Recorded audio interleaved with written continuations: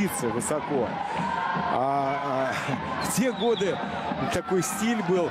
Держали отворот на уровне груди. Отлично! Ипон! Ипон! Как ты его туда завлек-то?